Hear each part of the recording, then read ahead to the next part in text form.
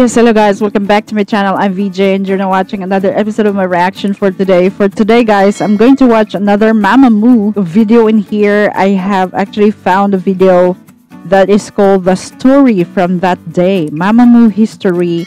That's from Apple Pie 2. So I'm gonna watch it today. I'm so excited. Let's go. In the K-pop world, there are a lot Oh. of standard to follow, but that is not the case for Mamamoo, the Mhm. idol group that is not like any other, because they were built from the ground up to be the idol that is good at Mm. singing. Oh. Kim Do-hoon, the CEO of RBW Entertainment said that he wanted to produce a girl group um Mamamoo is actually the first K-pop group of RBW, right? is truly talented at singing and good at having fun on stage. With this ultimate goal in mind, he began to choose the potential trainees to form a group. After the evaluation, he eventually ended up with five members. Ahn Hye-jin, she is the youngest daughter in a family of three girls. She lived in a family Ah, so this is like a guide, a quick guide to Mamamoo because it's just 11 minutes. So just a quick guide. with a relatively low income. Her Mhm. mom and dad were working hard to support the family, so as a young girl she sometimes regrets that her parents couldn't come to the school like others. Despite Mhm. that, she was raised by warm and loving parents, including her beloved uncle, who took care of her when she moved to Seoul. Living in Mm. the countryside, she even rode on her dad's cultivator around the area. During Ooh. elementary school, she told her family that she Mm. wouldn't go to the university because she wanted to be a singer. Her parents, who were not financially stable, were strongly against her dream. But this didn't stop her. She remained stubborn about becoming a singer. She met her future teammate who shared the same dream. oh, that's Lee. in. Actually, her name is quite unique in Korea. It was given by her aunt who loved the character named Jo Wheein from a comic book for the Ooh, Mermaid Princess. really? Her mom, who did art photography at the College of Art, influenced young Wheein to become interested in art. During her teenage years, Wheein decided to Yes, pursue music she's after also debating between the path of music or artist. In middle school, she met an Hye-jin who was wearing a yellow headband, eagerly approached her and asked, Do you want to be friends with me? Later on, Hye-jin admitted that she was hooked the moment she first saw Wheein introducing herself, so she wanted to be friends with her. They both have become best friends since then. The two Mm. promised to each other that one day we would move to Seoul and become a singer at all cost. They helped encourage and support each other and went through numerous auditions, some alone, some together. But things didn't go well. They failed many times. One judge said to Hye-jin, You're pretty talented at singing and dancing, but you are ugly and fat. She was crying on her way home and watched videos of Beyonce all night. she told herself, right now. One day I will be like her. One day, when they were about to give up, they got a phone call from a company that they had passed the audition. They trained in different agencies for a while. Wheein trained at MBK Entertainment. Mhm. Hye-jin trained somewhere else. She also recorded a guide vocal for 4 Minute. Oh, really? In 2011, two girls joined RBW Entertainment as the first two members of Mamamoo. Actually, Ooh. In had met her fellow member Moonbyul in a dance unit while they were training. Sadly, the unit lasted for a week. Moon Byul-yi One was born on a day where the stars in the sky were shining brightly. Her dad named her Byul-yi, 별이 which means star in Korean.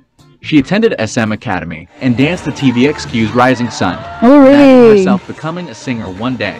She auditioned for many agencies. However, things didn't turn out well. She was scammed once by a certain company. She Mhm. even debuted in another group but got eliminated. Rumors that she was taken out because of her weight. She Mhm. followed a strict diet plan and keep dancing to lose weight. She was frustrated Really? countless times but never gave up. With strong dedication and commitment, she eventually signed with RBW Entertainment as the last trainee among four members of Mamamoo. After that, she attended the Paekche Institute of Arts. As a trainee, she first trained to be a vocalist, but later changing to rap because of her friend's suggestion. She had trained for Mhm. three okay. years and became the group's main rapper. She's not actually Young-sun, At a young age, she was quite a uh, mischievous you know, like kid. rapper. There was a rumor that she liked to play with dirt and even ate dirt once. On the first day of learning to ski, she said the easy slope was born. A I love this girl video. then skied down the steeper slope and got hurt. As a kid, she was energetic and enjoyed singing. Her dream was to become an air hostess, and she had been preparing until the age of 20. She later discovered that this wasn't her true calling. One day, she stopped by the street busking and sang to get the reward. Her Mhm. voice caught the eye of the RBW representative, so they contacted her. Unfortunately, Ooh. she wasn't interested and turned them down. But when she came back home, she couldn't stop thinking about it. She doubted herself, so she decided to give it a try.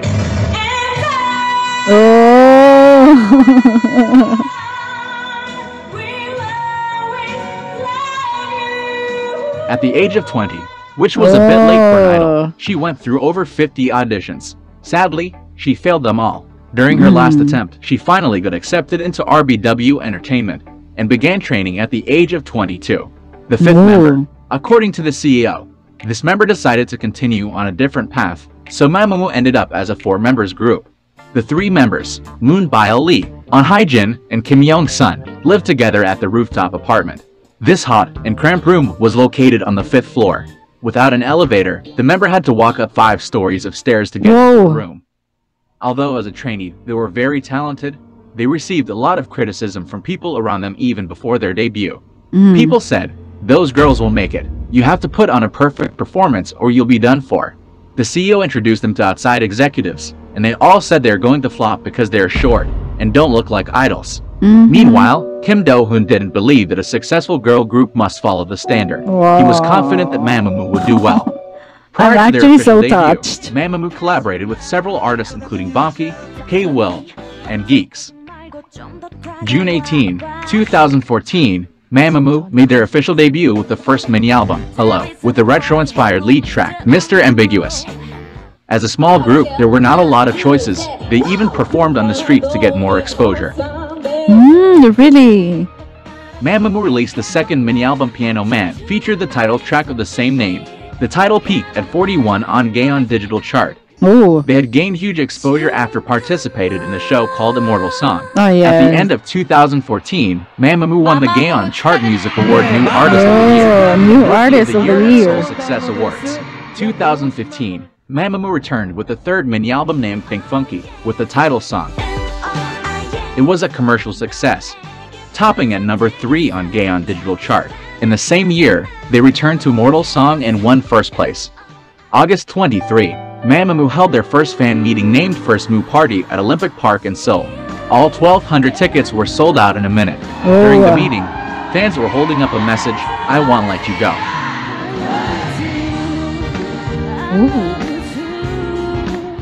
I mean, I I don't know. I'm so emotional right now.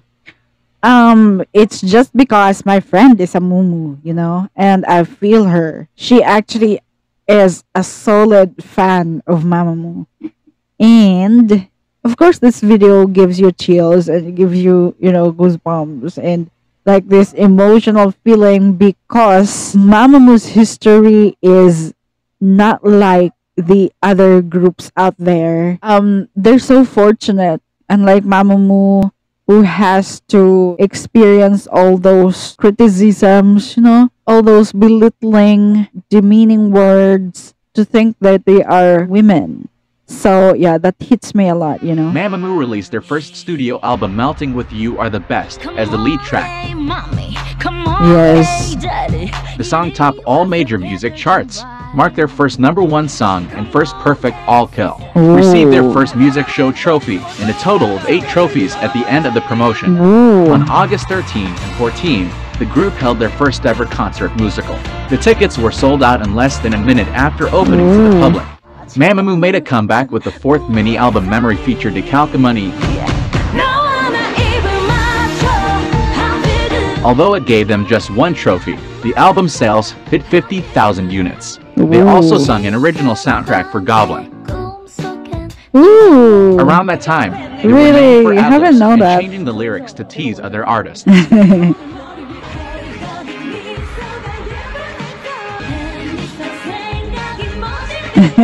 The group held their second concert titled Musical, Curtain Call in Seoul.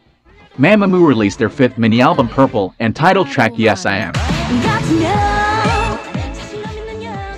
The song quickly climbed to number one on Melon's real-time chart. The song received seven music show wins, including Triple Crown. Mamamoo announced their new project for season's four colors to show their depth as artists and their mature musical style. Started off with the sixth mini-album Yellow Flower and the title track Starry Night. This album debuted at number one on the Gaon album chart, becoming their first number one album since their debut. The song earned the group's first music recording certification, certified platinum for 100 million streams and 2.5 million digital downloads. Ooh. Seventh mini album Red Moon, with Egotistic as a lead track. On August 18, 19, Mamamoo held their third headlining concert titled 2018 Mamamoo Concert 4 Seasons S/S. They continued on their Four Seasons 4 Color series, releasing a mini album Blue S featured Windflower as a title track. Coming to the final installment of the series, ninth mini album White Wind with the title track collaborated with Loco. The song Don't Give It To Me was a huge success. Hwasa continued to release her solo song. Top number 1 on Gaon Digital chart. Scored Triple Crown. Topping Gaon Digital. Gaon Download. And Gaon on streaming charts. The fourth concert titled 2019 Mamamoo Concert 4 Seasons F/W was held on 1921 April. Served as a grand finale for the Project 4 Seasons 4 Color.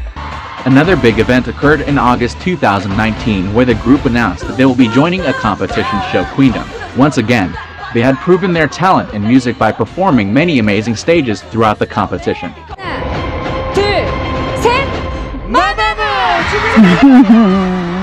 Following their They won. Mamamoo released a second full-fledged album, Reality in Black, with HIP as a lead track. The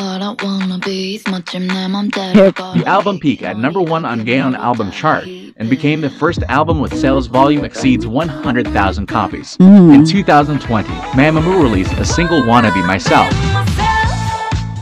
including 10th EP Travel and the title track. This EP broke the group's sales records, sold more than 100,000 copies the Mm. first day. This year, the group focused more on solo activities.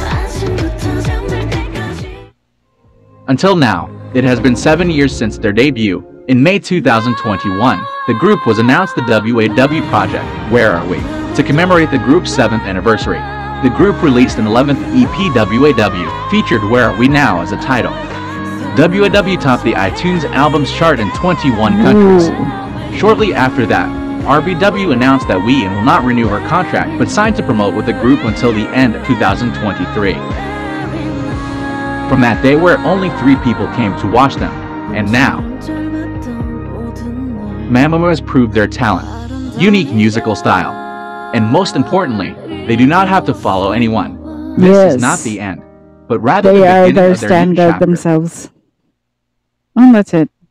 Oh, this is great. Very quick guide to Mamamoo. Um, thank you so much, Apple Pie 2s, for having that. That's actually the story from that day, Mamamoo history. I got emotional, you know, just like when I watched the the video on Mamamoo, the underrated group. I think they really are the perfect representation of rugs to riches. You know, that's it, guys. Thank you so much for watching this episode. I'm gonna watch other Mamamoo videos in my next episode. For now, guys, thank you and bye bye.